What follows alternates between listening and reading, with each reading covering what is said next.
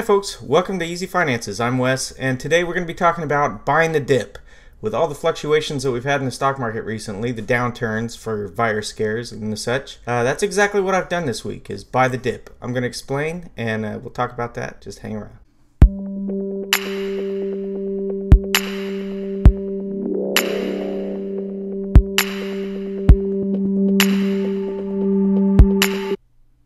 What exactly does it mean to buy the dip? Well, what it means is when the stock market goes down, when your stocks go down that you own, you go ahead and buy that. You're getting them at a cheaper price. And if you like the company already and we're happy with the company already, then there's no reason you wouldn't want it at a cheaper price.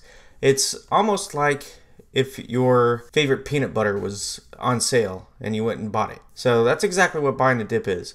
So if your peanut butter is regularly $4.99, but uh, this week it's there for $3.99, you might buy two of them this week and, and just hold on to them, you know, for a little while. It's the same difference. Buying the dip in the stock market is exactly that. You're buying the companies that you like at a cheaper price. So you've already you already know you like these companies. So why would you want to pay more money for them? You wouldn't. You'd want to get them at a discount. And that's exactly what I've tried to do this week with a huge influx of money. If we look over here, this influx right here is what I, what I'm talking about. This line, and you can see it's uh it's just straight up right there, and that that's where I put two hundred dollars in, and I put another I think forty or sixty bucks in there. Next week, I'll be going over a complete portfolio review. Please stay tuned for that. But uh, this little bit right here is what I'm talking about. So the market went down a bit we put some money in here and then it went down, right? I put a little bit of money in. It stayed pretty flat. It, it rose just a little bit that day. And I said, you know what? Let's just take advantage of it and throw a couple hundred dollars in there. So I threw that at it. And then, of course, the, the regular uh, payments again. I think it's $40 for the week. And that's what we have here represented. As you can see, we've done pretty good with the exception of high dividend stocks, which they were hammered over this week.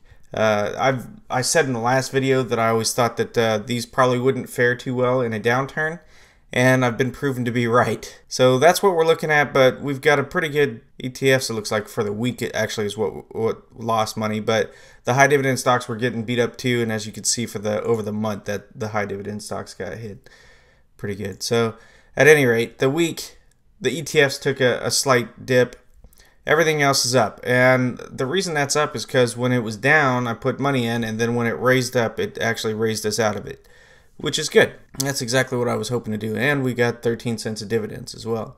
As we're getting more money in here, the dividends are starting to roll in, and dividends are going to start feeding into the portfolio and making it bigger.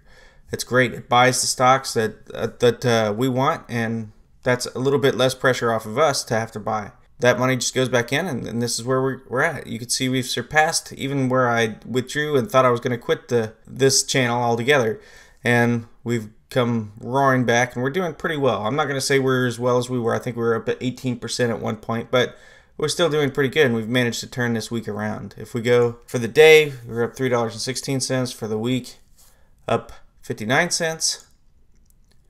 The month, $12.10. Quarter, year, etc. So you can see that uh, buying the dip can work out quite well for you. Uh, in growth stocks, I'm going to say that Tesla's just been doing gangbusters for us. Um, I'm glad I put. I know it's not a, ton of money, guys, that we're talking about, but I've got my money well diversified because you don't always know what the who the huge winners are going to be. But in our growth stocks portfolio, you can see we're doing quite well with Tesla leading the way at 113% gain. That's just amazing. So can't complain about that. You can see where you can see in this this one where that dip hit really really hard. So obviously we didn't put any infusion in this this week because we had, in the last video, if you want to go back and watch, um, we went ahead and, and took the amount of the portfolio that's in growth and high dividend stocks down a little bit. So we went from where they were all 25% and we put growth stocks and high dividend stocks at 10%. And part of that was I was trying to stave off uh, what would happen in a downturn. I think the growth stocks and the high dividend stocks are going to take the, the biggest hits. Obviously, with ETFs, we're not too worried about it because we have some bonds coverage and we have some real estate stuff, so some other areas that uh, that might do better in a downturn. Although in in this particular cycle, I'm not sure what exactly is gonna gonna be good. We might have to put some gold in there or something, the GLD uh, ETF or something, just to try to stave off what might happen in the future. But you got to think of all things. And uh, this week we've bought the dip. That's what we do. If it's just a small dip like that for the coronavirus, I didn't really see that uh, it's going to be bigger than the flu per se. I mean, I think the flu kills what 30,000 people a year or something. We could probably Google that. Somebody somebody will tell me below exactly how many it kills. But uh, the coronavirus hasn't got to that point yet, so I'm not too worried about it. If it does in the future, then maybe it will be a concern financially. But in the meantime, it was a good panic for for everybody in the market and people that are maybe a little bit undisciplined. And who knows? I may may find out in the future that this thing grows and and I lose money. But stick around to find out, right? It'd be interesting. But for the meantime, this is what I'm doing. Anytime that we have another scare like that, I'm going to try to buy up what I like. And that's all the stocks in my portfolio. And it's a good way to uh, stick around and just know that don't panic. Take advantage of situations as they're handed to you. But uh, there's no reason to pull out all your money and lose a, a big amount of money when the market downturn or takes a downturn. And in fact, I would say that in 99.9% of the the times it's going to be that way. Sometimes you might want to wait a little bit when when it's falling so that you're not buying in the middle of the fall for for instance, but timing is also I wouldn't stop my normal investments. Like my $40 a week that I'm putting in here, that's going to continue no matter what.